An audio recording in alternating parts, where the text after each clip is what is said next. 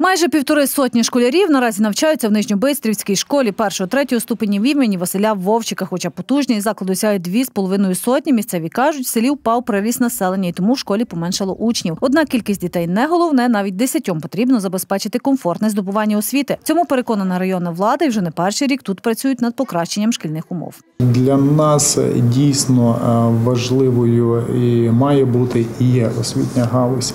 Е, Більшість з наших об'єктів у нас е, на сьогоднішній день функціонує 47 шкіл, і більшість з них е, були е, побудовані іще у період радянського союзу.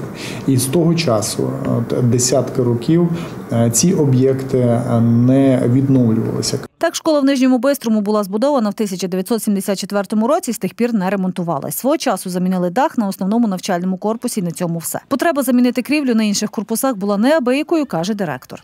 У нас затікала стеля в харчоблоку, затікала стеля над спортивною залою і затікала стеля над бібліотекою. Оце були наші такі, ну як самі великі проблеми, тому що не можна було робити ніяких косметичних ремонтів, бо ну, тече, як тече стеля і поламаний дах, відповідно, що би там не білив, воно завжди портилося.